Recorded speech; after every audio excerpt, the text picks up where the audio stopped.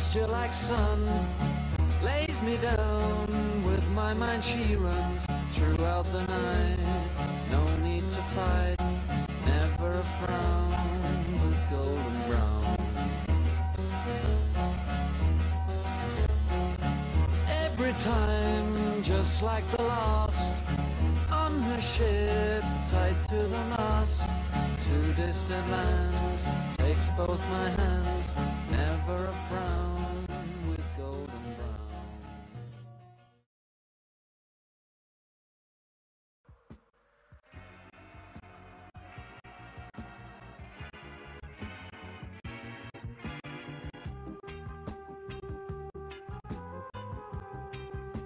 Well, I've always been a football supporter since since school, and uh, just got fascinated by the clothes and fashion. And I used to go in the 70s to Forest and see all that was that was standing open ends, and next minute, what's all the fuss about? Everyone's going hammering tongs at it, and I noticed all the different clothes and fashion. And I thought, because it gave you a bit of a buzz, and just got up as a young, young kid, and I started going to, as it happens, a few Leeds games. Were big in the 70s. And I noticed different cultures and different the way different people dressed from different areas. Leeds would, would start wearing like Slazenger jumpers and like Forest would start doing the same sort of thing. I was more into that. That fascinated me more. I possessed a into violence. You wanted to be someone who's part of a gang. There was who had the smartest clothes, and then there was who's going to be who, who, who was the hardest, and it was backing your mates sort of. But in them days, we couldn't really afford a lot of the clothes. 16, 15, 17, we didn't have the money and uh, we used to do the sports shops. I'm not proud to say it, to be honest with you, but I did. We did do a bit of that. But it was all part and parcel of getting the stuff. We wanted to be the smartest lads, and we didn't have the money in them days. And that's, like, that's to get the clothes. That's what we had to do. It was in London. It was a they call it casuals. In Leicester they call it trendies. In Nottingham they call it shadies. In Liverpool it was uh. Man- the Manx were just Manx. You know, the, there's a different name for everything, but it, overall it's become casual. Now it is casual. Every every little town used to have a different name for what it was. It's not lasted in most of it. It's gone, gone 30 years now. I said to the young Forest kids now, it's not worth it. You know, cameras and you know, just for a bit of a punch up. It's not what we had in the day. You get to prison for not even throwing a punch nowadays. It's like a, it's like a bug. It's like a disease. You can't help it. It's like drugs. It's drawn to you. you can't, it's hard to get out of it once you're into it. But I don't like being in, in a big, large group. I don't like groups nowadays because, you know, it's, that, it was all about being in a group. Now I don't, because I, I could get drawn so I don't want to get into it anymore. If I just to football, I've never got in trouble with the police. You know, I'm like 39 years of age. Thought, if I don't pack it up now, I'm never going to get out of it. And I watched England in my prison cell and I thought, what am I doing here? Uh, for my family more than anything as well. Going to prison at 39 years of age and seeing, seeing my mum and dad, you know, suffering. You know, I've got a lot of good friends through football and I like going to other cities now and reminiscing and mixing with the lads I used to fight with. And I could go for a drink anywhere in the country, except probably Sunderland and Derby, because they still don't like me much. But I go anywhere and, you know, you're of honour and it's great. Like, I'm 47 this year, you know what I mean? So it's just, I'm glad we was part of it. It was just a game to us, really. It was just a bit of sport, a bit of fun.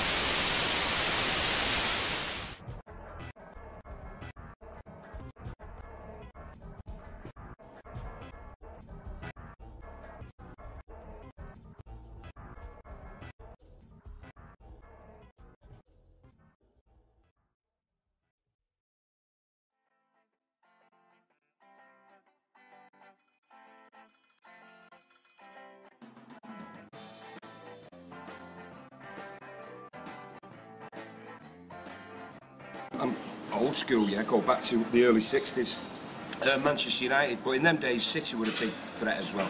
And uh, after what, 30, 40 years, City a threat again. So um, I'm glad City are a threat, you know, rather than the Scousers. I was fascinated with the fashion at first, but I was too young to get involved. 68, 69, when the skinheads, we didn't call them skinheads, we call them boneheads, or baldies. And then 69, they got stamped as skinheads. I wanted to be one, but I just wasn't old enough, still at school, went in detention centre. When I come out, I had a bit of an angry attitude, so it was 1970 now. I got a pair of Doc Martens, braces, Grandad t-shirt, and I went to Derby. It was called the Watney Cup Final. And there I witnessed my first violence that I could not really get involved in, but um, it was intoxicating, just being there.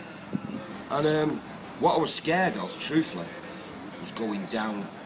Because in them days, if you went down, the boot went in. And uh, in them days, a lot of them wore steel toe caps. And um, I've known lads who get a good booting or a good kicking at a football game and they'll never go to a game again. And uh, I was hooked all the way through the 70s on football violence. In the 80s, we made money out of football. Um, we became grafters, really.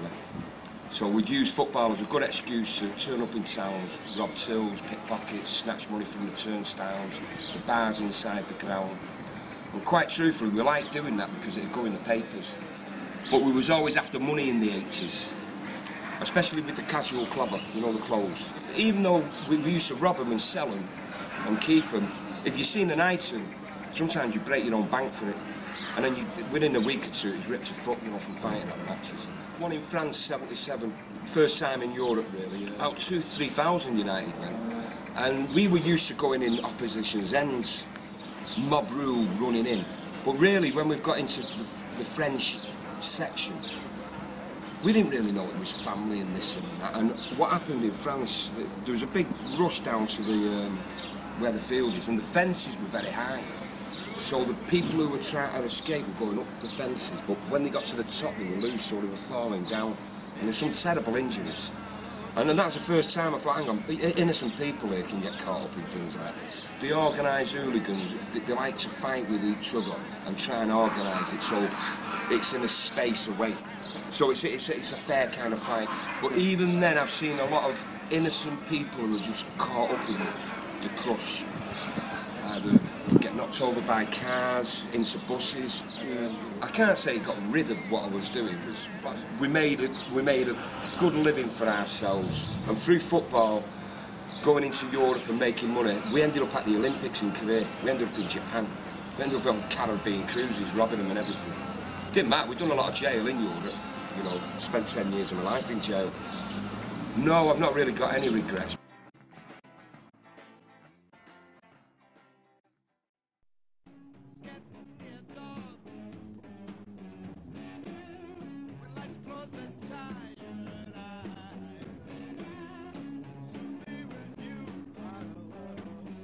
Right, Cass Pennant here. My team for all these things, West Ham United. The firm we run with was the ICF. and I learned at a very young age. It was before Britain was multicultural and being a black kid in a white town. You know what I mean? Um, I quickly easily steps into the gang culture thing, you know, because kind of like a family. Everyone tells you the characteristics of a gang culture is family, brotherhood, camaraderie, and everything else. And the nation and the world was in the peace and love movement, you know. It was a backlash to the culture at the time, which was the hippie culture. Because it was the time of the Vietnam War and you always get nature opposites, don't you? You know what I mean? So this aggressive, violent, aggressive street culture come up in Britain um, what suited me was an aggressive culture, but uh, the streets were aggressive at the time, pretty much similar to today, because once society found out what was going on and stamped down on it in the streets, where could, where could the youth mushroom legally, um, you know, gather legally, you know, in large good groups without being, you know, swamped on by the police behind the goal football matches, youth started gathering, they never did before. The casuals fashion really come with another game with the youth, the youth generation. I remember the casuals, first seeing the casuals. At the time, Britain was great, it was, a, it was a rich time for diverse cultures. Because at the time you had every culture going, normally it's just one culture for that summer, and a rival culture. This time you had a, a melting pot of revival mods, uh, second generation of skinhead, you had new romantics, you had punk, something like five different cultures under the radar of them all become the casual. But it really come with a young group. You've got to think a kid on the terraces that go with his dad and his uncle at 8, 9, 10 years old with his parents. And He's only seen violence. So when they come at 13, 14, 15, when they start going home mates and go around their parents to football, they all, all they've seen in their life on the terraces, going with their parents as an innocent kid, is football violence when went unchecked. So they quickly move into that. Call them Thatcher's children. Yeah, that's quite different to us. When we come in as a movement, they come in as a way of life.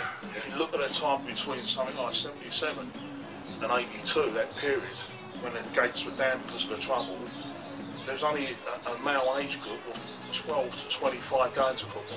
Ain't like today there's women and different groups, middle classes and everything else. It was only that working class youth movement culture going to the football because you've got to think the East End and that tough image with the Krays and you know the MH flight jackets they was wearing, the Fred Perrys and you know DMs and that chunky look, all part of that Mako East End look.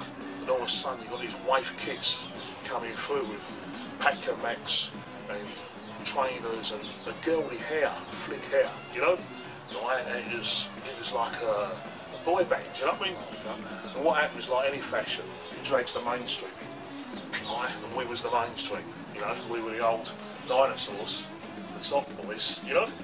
Everyone's getting into it, you know? So in our world, we was big players. You know, we were like film stars in this world of football miners back then, you know? The, the casual wasn't into the music, it was a football thing. And this style of dressing, you know what I mean? Said football without any colours.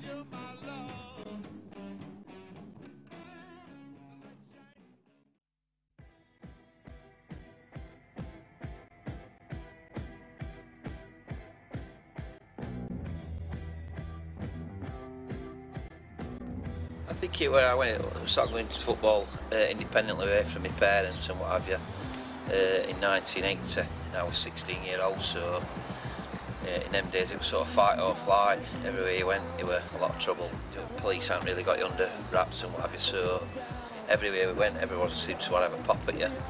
So I probably got more experience in one season uh, as an hooligan or a potential hooligan than youngers get nine, ten years at football. It's in your blood. I, I think. I think what hooligans get tired with that they don't care about game. It's a misconception that people think that football hooligans are just in it. They're mindless morons they don't like football. Violence was a part and parcel of it. But first and foremost, if we're a football team, we want him to win because it's like a drug football violence. Once you're in it and you're in it big time, it's it's very hard to get out on it. And I thought to myself, if I carry on with this, I'm going to end up losing my liberty. And I don't want to see my kids growing up without their dad. And don't get me wrong, there's been times when I've been in the wrong place, wrong time. In the 70s, it was sort of free for all. Anybody could cop for it. Well, certainly in early 80s when football firms proper got together.